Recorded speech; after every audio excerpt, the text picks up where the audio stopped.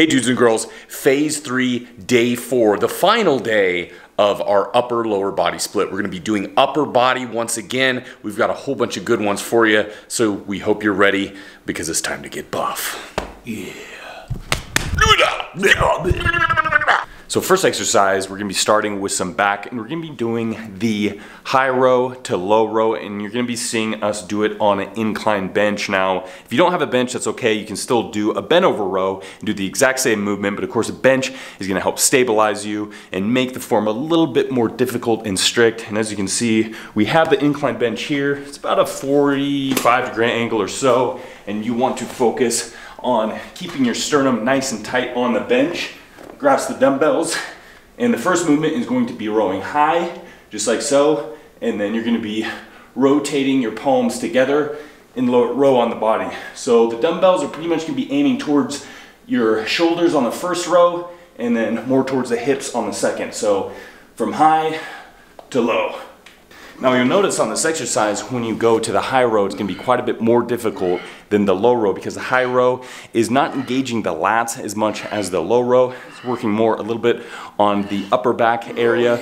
So you'll notice kind of the difference there. And that's what happens whenever you kind of change the angle of an exercise. You'll be kind of focusing a little bit on different muscles and that's exactly why we've included this exercise. So we have floor press next. And we've covered this in the past, we've had it in the program, and that's why we're continuing to use it because it's just a damn good exercise. And what you're gonna be doing is laying on the floor, grabbing the dumbbells, and pressing them to the top position. But of course, in the floor press, the range of motion is going to be quite a bit uh, smaller than a typical bench press, where your elbows go below your body and then you're pressing up from the stretch position. You're more focusing on that top and peak contraction, uh, but you're also really focusing on the eccentric contraction, bringing the weight down so that way you don't bash the back of your arms on the floor. So it's really gonna help you control that weight and that motion. Makes it a little bit more difficult. And what's nice too about doing it on the floor, you feel very stable because you have the whole floor to press against, which is really nice. Oh, that's a good one. It's almost like the box squat for the chest shorter range of motion, but you touch that floor, keep the tension in the chest, and then explosively press the top position. Yeah.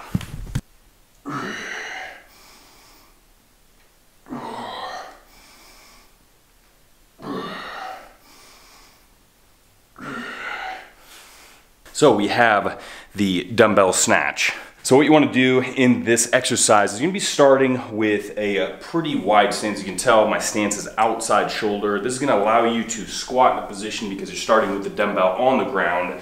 And as you can see, I need to get low enough where I can grasp the dumbbell with one arm and you're to be explosively pressing upwards with your legs, extending in the hips, and this is to create the momentum. And then you're also going to shrug the weight up to make sure that dumbbell kind of glides along the body and you're gonna be catching it at the top position. So instead of doing a clean like we've done in the past, the dumbbell cleans to press here to here, we're kind of cutting out the clean portion and going all the way up into that top position here. So to see it in motion, starting position, boom, just like so, bring it back down, here we go. And you can tell at that top position, I'm slightly dipping down to catch that weight and then pressing up to that full top position here. So of course, working a lot the delts, the traps, but also a lot in the legs too. So although this is an upper body day, your legs still get a little love, which is probably good anyways because legs are always, you know, something that you really want to try to develop and make sure they're strong, especially the hip section too. Now, if you pay attention where the dumbbell is going, try not to pull the dumbbell far away from you. Try to keep it nice and tight to the body. And that's going to make sure you're not wasting any energy. Just kind of pulling out, you're gonna have to kind of, it's gonna be in the wrong position when you try to catch it, throw you off. So really try to keep it tight to the body, boom. Then you'll feel nice and supported and stable at that top position. Whew.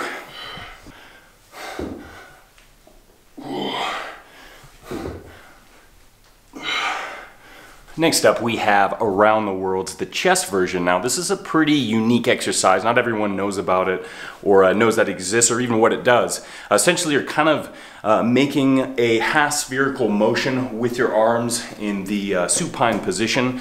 So once you get down on a bench, uh, you're gonna be grabbing some very light dumbbells because this is definitely not an exercise you wanna go heavy with.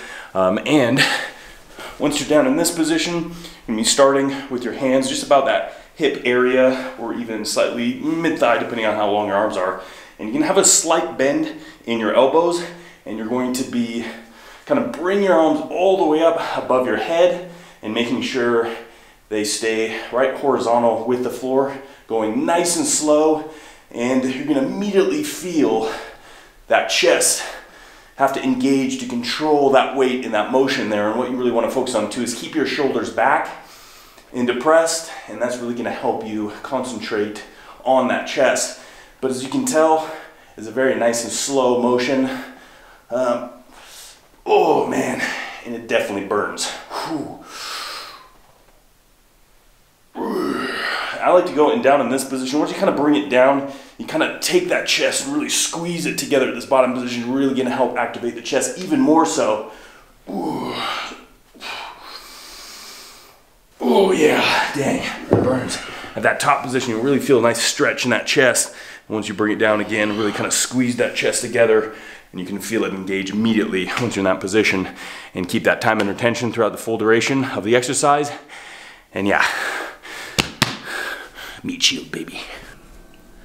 Well, hello there. Side planks, it's gonna be 60 seconds each side and we're gonna be doing three sets of that. And this is kind of a it's a test of patience and a test of will because the longer you do this, you're gonna feel a lot more activation in your obliques. It's gonna get stronger and stronger as those seconds tick by, and soon it's gonna feel like you're being drugged through the fires of, of thinness. I was trying to think of something cooler, but nothing really came to my mind. There we go. Side planks are finished. I gotta be completely honest. This workout was a little hard to get through, and you're gonna find yourself in that same position from time to time. So I'm glad I have Brandon here to help me push it through. But that's the important thing is the consistency. We get so many people who decided to give it up, then they gotta pick back up where they started off months ago, and they wish they would have just stuck with it. So in these kind of strange and difficult times, you just gotta stick with the routine, you gotta keep the consistency, and you gotta push through. That's what makes a dude a buff dude. See you next time. Stay safe, stay buff.